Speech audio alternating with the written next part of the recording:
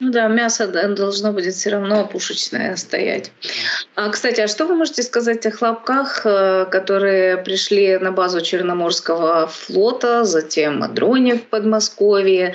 Вот Буданов говорит, что в Российской Федерации готовы к потере Крыма. Мол, это для них сложно, но можно.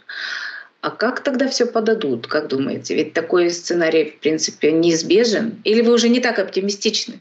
Почему? Нет, смотрите, про то, э, как подадут, вот тут я как раз всегда, готов, я знаю, как подадут, это точно прям. Ну, я по поводу потери Крыма, например. Да, да, да, естественно, потери Крыма подадут Ой, следующим образом. Скажут, значит, смотрите, дело в том, что оказалось, мы тогда захватывали Крым, вот да. тогда 2013 году, но оказалось, что Украина, в 2014, да, но оказалось, что украинцы его ужасно изгадили, вы понимаете? Ну, просто там невыносимы совершенно условия жизни в этом Крыму. И оказалось, и песок там так себе уже, в общем, галька, а не песок фактически, да. Украинцы инфраструктуру все загубили за время, что владели Крымом. Нам зачем такой Крым? Нет, нам такой Крым не нужен.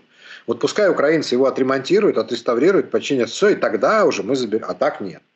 Нам нет, такой Крым нам не нужен. Вот они уйдут со словами, что это только расходы. Посмотрите, это расходы для бюджета российского. За 8 лет Крым не принес в бюджет ни копейки, все время требовал дотаций. Куда годится такой Крым? Нам он, вам он нужен такой? Угу. И люди что будут делать? Верить в ту же секунду. Ну, слушайте, это как альтернативное наступление, там все эти тяжелые решения. Так это, что экономически мы посчитали невыгодно.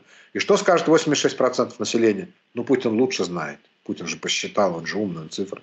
Вот, поэтому в этом смысле я убедил, я честно, я раньше так не думал. Я вот после того, как они потеряли Харьковскую область, потеряли Киевскую область, потеряли этот э, Херсон, да, россияне, и у них, они даже ухом не повели. Ну, в смысле, народ вообще, вы видите, ни, ни одного слова не было против Путина по этому поводу. Ну, хорошо, Стрелков, Гиркин, да, один человек против, против 140 миллионов. Никто вообще не возражал. Поэтому я верю, что они схавают от Путина все, что угодно. Он святой, как он скажет, так, значит, и надо. Вот. Поэтому в этом смысле, как народ, готовы к потере. Безусловно. Да, они будут кусаться, цепляться, они же не отдадут его нам без, безвозмездно и так далее. Но если наше контрнаступление вот сейчас получится, давайте теперь оптимистичный сценарий рассматривать, раз уж вы все хотите, чтобы я был оптимистом. Но оптимистичный сценарий у нас какой? Давайте. Да, к хлопкам. К хлопкам, ладно, вернемся потом. Давайте оптимистичный сценарий по поводу Крыма. Значит, удачное наше наступление – это если мы сможем одновременно в нескольких местах разрезать их группировку. Вот перерезать им группировку их всю, причем имеется в виду и на Донбассе, и в Приазовье. Если мы в нескольких местах перережем, э, перерезая при этом железную дорогу обязательно, то выяснится, что у них нет путей снабжения что единственный способ снабжать Крым, например, если мы берем Крым, это Крымский мост. Но нам нужно выйти в такую точку, на, ну, перерезая эту группировку, выйти в такую точку, чтобы Крымский мост оказался вот, ну, грубо говоря, на прямой наводке. Ну, не прямая наводка, конечно, но чтобы мы могли его обстреливать регулярно и прервали сообщение по нему. Возможно, он не обрушится, но чтобы все было под нашим огневым контролем. А ракеты у нас такие уже есть. И вот тогда Крым нельзя будет снабжать. Потому что кораблями снабжать, ну, в смысле, вот этими паромами, которыми они там раньше плавали, так паром мы будем топить. Сколько их там вообще-то не так много, и мы их все утопим. И у них ну, появится полуостров, на котором огромная группировка военная, которая просто нечем снабжать. Ну, сначала они съедят местных жителей, это я понимаю, но, в принципе, им там особо будет ни снабжения, ничего. И я думаю, что вот, вот наша задача так разрезать, чтобы они потом везде ушли сами. То есть мы не из площадей их должны изгонять. Я так думаю, я послушал военных экспертов, что мы не, из площадей их будем сгонять, не из городов, а именно перерезанием этой группы. Как, как это было сделано под Киевом? Вот ровно так. Было перерезано, и они сами ушли. И как это было сделано в Херсоне? Мы же не штурмовали Херсон. Мы перерезали логистику, и они ушли. Ну, как, они полгода подождали, они полгода доедали, что могли, там, доиспользовали свою, свою самую амуницию, все, новое уже не было.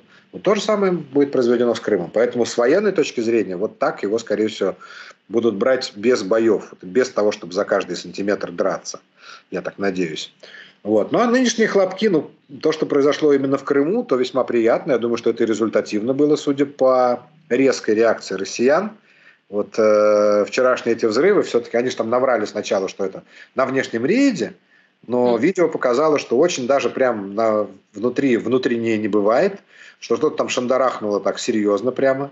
То есть пока в какой-то мы их корабль явно попали, как минимум в один. окна там выбили в бухте все, так что, значит, и корабль какой-то взорвали. Прошлое, ну, конечно, не сравнится по эффективности с прошлой атакой. Помните атака в конце октября, начале ноября, когда мы четыре корабля повредили? Но тогда был эффект неожиданности. Сейчас, конечно, такого уже не было, второй раз не получилось. Но спасибо Британии. Это же британские все, британские все эти... Ну, у нас же нет таких. У нас э, дроны вот наши под Москвой – это наши дроны, а морские дроны – это британские дроны. Я думаю, что британцы обучили наших воинов управлять этими дронами. Ну и мы в благодарность, конечно же, я думаю, позволим потом британскому флоту постоять в Севастополе сколько-нибудь первых лет, пока мы построим свой. Вот. А вот под Москвой пока жаль, что не долетели. Явно же пытались в Москву прилететь, поприкидывать, как там Красная площадь. И, э, вот, ну, теперь придется ждать 9 мая. Хотя это уже скоро что-то.